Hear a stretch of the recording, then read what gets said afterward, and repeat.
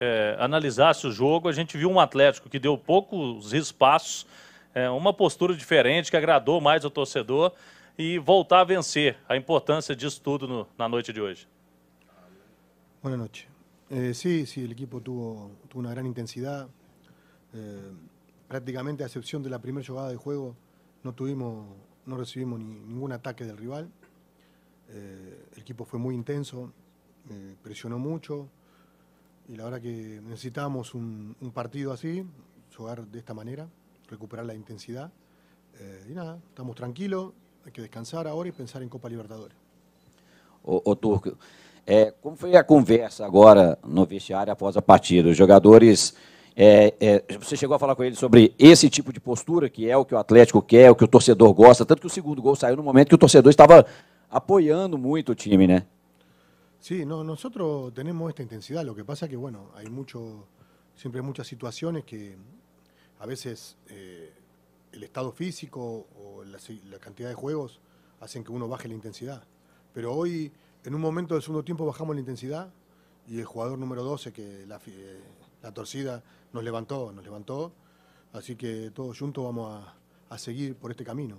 Hoy fue muy importante eh, la torcida porque con su, con su aliento el equipo, el equipo retomó fuerza y fuimos a buscar el, segundo gol.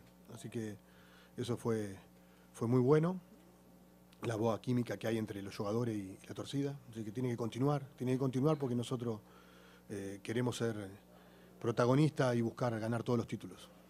Turco, boa noite. Boa noite. Os 11 que começaram hoje, para muitos torcedores, inclusive, para a imprensa, é o time mais forte que o Atlético tem no momento. A escolha dos 11 hoje foi muito em função do jogo, do que você tem à disposição. É, para você, também o time ideal, o time que começou o jogo hoje?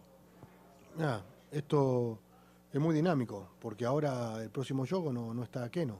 Entonces, eh, Keno recién eh, Bragantino estuvo para jugar 60 minutos.